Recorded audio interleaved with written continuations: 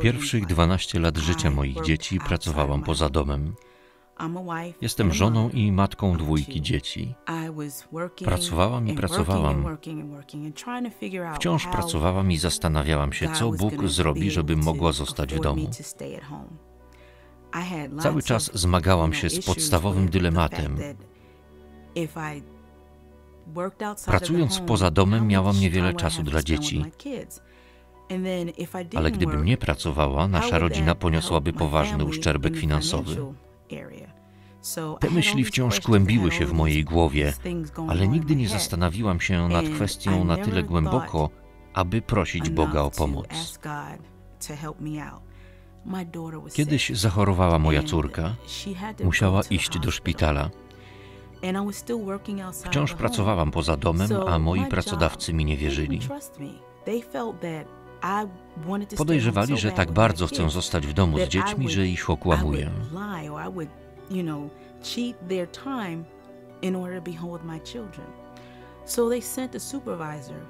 Dlatego wysłali kogoś do szpitala dziecięcego, żeby sprawdzić, czy moja córka rzeczywiście tam była, czy naprawdę była chora. Gdy spotykasz się z takim brakiem zaufania ze strony pracodawcy, zadajesz sobie pytanie, po co ja tam w ogóle pracuję? Modliłam się do Boga, prosząc Go o pomoc w tej sytuacji. Panie, proszę Cię, Ty znasz rozwiązanie. Ja nie wiem, co mogłabym zrobić. Kolejne posunięcie pracodawcy przelało kielich goryczy. Planowałam wyjazd na zakończenie studiów mojej krewnej. Kupiłam bilet na samolot i poczyniłam konieczne przygotowania, ale powiedzieli mi, że jednak nie dadzą mi urlopu. Po tym wszystkim? Przecież brałam nadgodziny, żeby zarobić na bilet, a oni mi mówią nie? Zastanawiałam się, jak odzyskam pieniądze wydane na bilety. Były stracone. Powiedziałam, Panie, proszę uwolnij mnie od takiej sytuacji.